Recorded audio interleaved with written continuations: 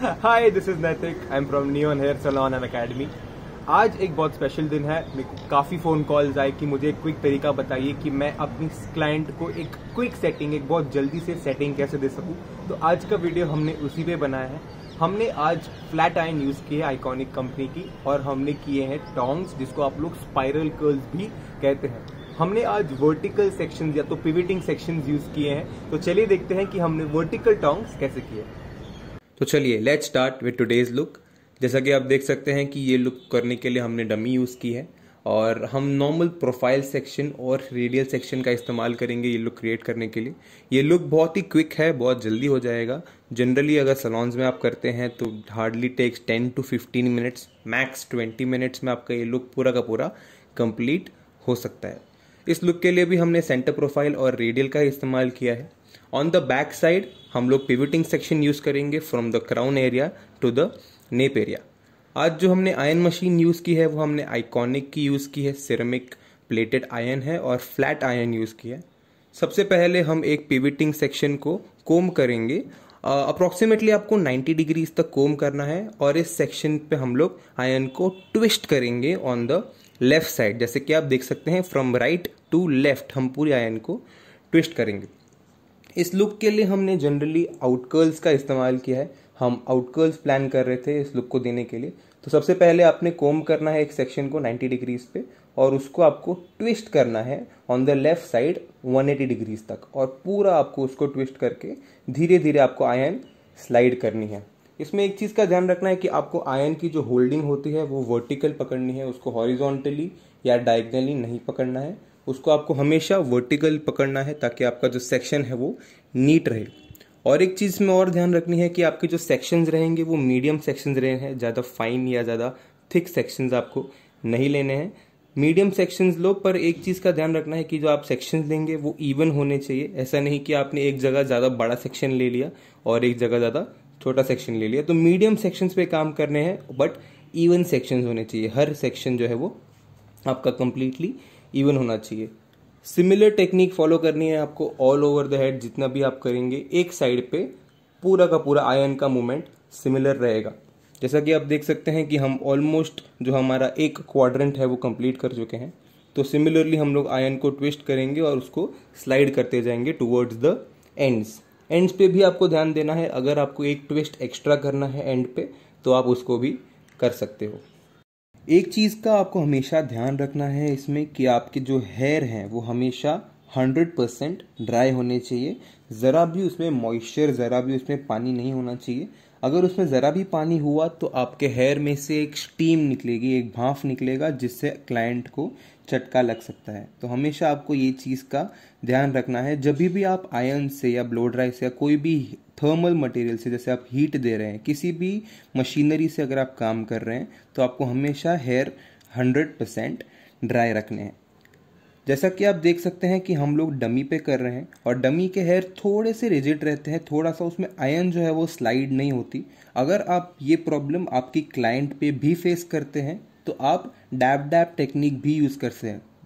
Dab dab technique में generally हम iron को प्रेस करते करते आगे ले जाते हैं। अगर आपकी आयन जो है वो प्रॉपरली स्लाइड नहीं हो रही तो ही आप डैप डैप टेक्निक का यूज़ करें। जैसा कि आप देख सकते हैं कि हमारा एक साइड ऑलमोस्ट कंप्लीट हो चुका है with our out curls we will start with our left side now left side पे भी हम एक पिविटिंग सेक्शन से ही स्टार्ट करेंगे। और पिविटिंग सेक्शन जनरली इसलिए ले रहे हैं ताकि हर एक सेक्शन हमारा इवन आए और ऊपर से नीचे तक हमारा रिज़ल्ट जो है वो प्रॉपर आए। जैसा कि आप देख सकते हैं कि इस सेक्शन को हमने अब राइट right की तरफ़ ट्विस्ट किया है। दैट इज़ राइट आयन जो है वो हमने ऊपर से ही रखी है ताकि आपको समझने में थोड़ी आसानी हो। बस उस सेक्शन को जो हमने ट्विस्ट किया है, वो हमने टूवर्ड्स राइट साइड किया है। तो ये चीज़ आपको ध्यान रखनी है। आपका जो सेक्शन है वो हमेशा सिमेट्री में होना चाहिए, हमेशा सिमिलर होना चाहिए।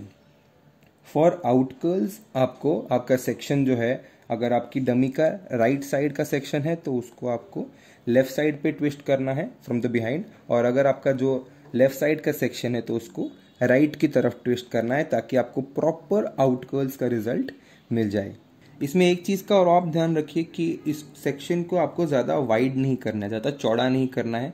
आपको एकदम पतला कर देना है ताकि आपकी जो आयन में जो होल्डिंग है वो एकदम प्रॉपर हो जाए। कि आपकी जो आयन है, उससे हर एक हेयर पे हीट जो है वो इवनली स्प्रेड होनी चाहिए। ऐसा नहीं हो कि आपके थोड़े हेयर जो है वो आयन से रह जाए और उसमें प्रॉब्लम आ जाए। सेकेंडली आपको जो आयन का टेम्परेचर है, उस पर भी ध्यान देना है। अगर आप फाइन हेयर पे काम कर रहे हो, अगर आप पतले हेयर पे काम कर रहे हो तो उसमें आयन का टेम्परेचर आपको कम रखना है। जनरली 160 से लेकर के 180 तक अगर आप पतले हेयर पे काम कर रहे हो तो इट इज़ वेरी ओके अगर आप थोड़े से मीडियम हेयर पे काम कर रहे हो तो 200 तक आप टेम्परेचर रख सकते हैं। और अगर आप थोड़ा सा थिक हेयर पे काम कर रहे हो तो 210 या 220 तक भी आप टेम्परेचर रख सकते हो। और एक चीज़ का आपको इसमें ध्यान देना है कि आपकी जो आयन है वो एक जगह पे रुकनी नहीं चाहिए। प्लीज़ ये चीज़ का ध्यान रखिएगा, वरना आपका जो सेक्शन है वो बर्न हो जाएगा। आयन जो है वो कॉन्स्टेंटली मूव होती रहनी चाहिए। अगर एक जगह पे रुक भी रही है तो आपको उसको छोड़ देना है और उस सेक्शन को आप वापस पकड़ सकते हो। इसमें कोई मनाही नहीं है। आप उस सेक्शन को फिर से पकड़ लो। अगर वो बाल जल रहे हैं तो आप उसको ठीक नहीं कर पाओगे, पर अगर आपका सेक्शन थोड़ा सा उन्नीस बीस हो रहा है तो उसको आप बाद में से ठीक कर सकते हो। तो ये चीज़ का आपको ध्यान रखना है। Presence of mind on floor आपको हमेशा रखना है।